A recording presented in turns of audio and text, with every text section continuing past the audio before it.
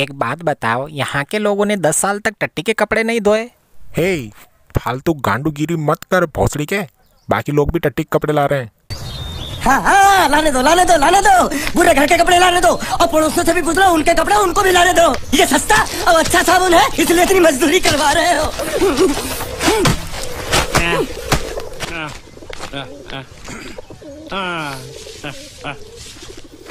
ये कुर्ता किस पेन के लन का है?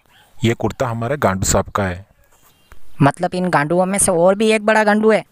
हे नीची आवाज़ में बात कर ये गांडू तो कुछ भी नहीं है। असली गांडू तो वो है चूत का खटमल। गुजरात गया है रंडी चोदने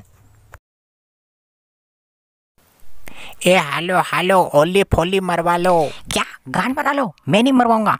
तू जाके मरवा ले भोसड़ी के तंबोली जैसी शक्ल के। नहीं मरो नहीं तेरा बाप मरो नहीं ही नीचे मो तो जा तारी माँ चुदा। तू चुदा हे जा जा जा जा साले तू मरवा ले कान फाड़ देंगे तेरी दर्द होगा तब पता चलेगा। एक तो सुबह से टट्टी के कपड़े धो रहा हूँ भोसड़ी के ऊपर से बोल रहा है गान मरवा लो। अरे फोली मार लो का मतलब पता है क्या है? वो चोदने के लिए बुला रहा था। क्या?